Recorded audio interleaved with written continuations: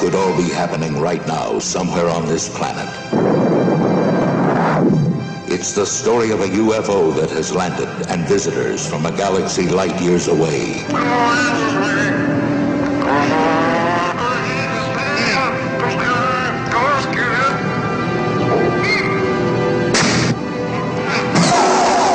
It's an adventure unlike anything on this planet.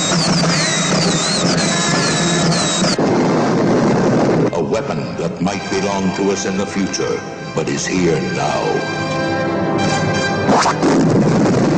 Laserblast. It's the story of the boy who found it and the girl who tried to help him.